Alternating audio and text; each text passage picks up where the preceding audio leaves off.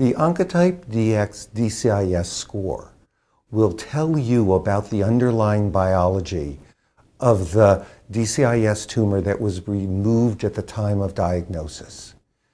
The score ranges from 0 to 100, and based on prior studies, we know that if you have a low DCIS score, which is the case many, many, many times, that surgery alone is the appropriate treatment for you.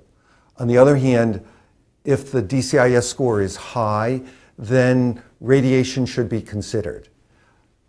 Thus, this individual information can inform you and give you confidence that you're making the right plan to get a great outcome for the future.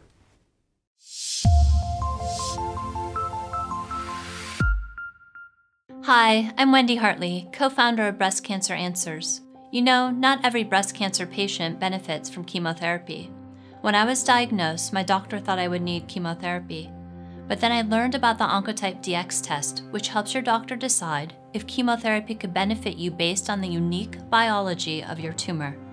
My test results revealed I had a very low chance of my cancer returning, which meant I didn't need chemotherapy after all. To learn more about the Oncotype DX test, click this button here.